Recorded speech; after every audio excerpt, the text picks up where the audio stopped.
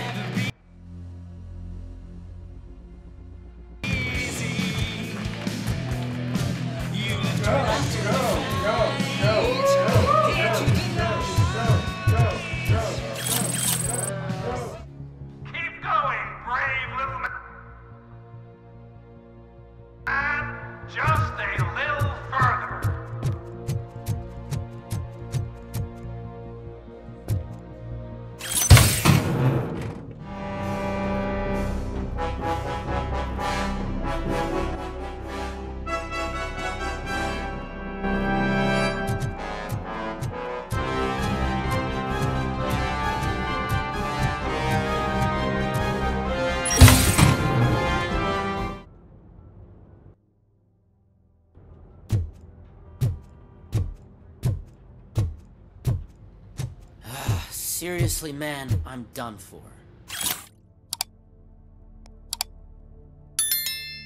Oh, I get you.